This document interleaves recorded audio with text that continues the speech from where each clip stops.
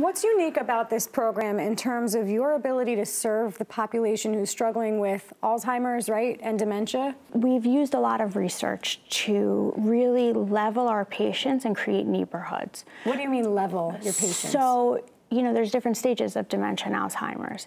And based on the needs and the stage, so if someone's early onset dementia and Alzheimer's, there's different activities, there's different programming and we cater to the resident and you know their needs and based on that the progression of the disease and how it progresses therefore different neighborhoods and they're small they're 20 to a unit I think at NJIT there are a lot of smart students. I came to NJIT for mechanical engineering because within state it's one of uh, probably the top three schools for engineering.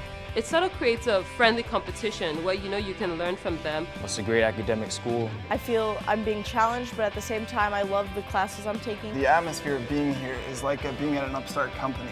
It's that same kind of drive, that same kind of passion.